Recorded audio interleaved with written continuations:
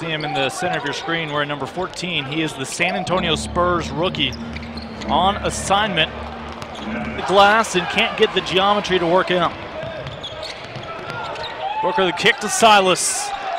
And again, Xavier Silas just about 20 minutes north of where he grew up.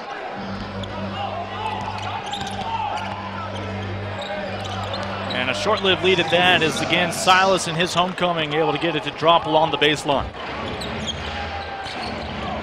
Silas.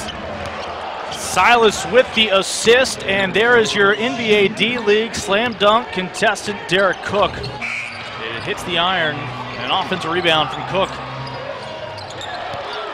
Silas so quickly after his miss sets up in the corner. Done now.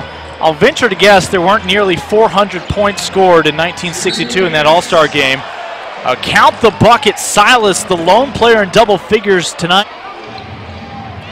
First player off the bench this half will be Cooke for Northern Arizona. Silas in stride, able to rattle it through. 16 points for Xavier Silas. Silas.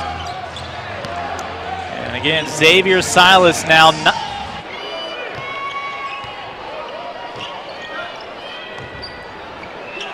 And both teams have been good at answering threes with triples of their own. Bryson, the extra pass to Xavier Silas. Another three-pointer for the resume. 25 points on the road tonight.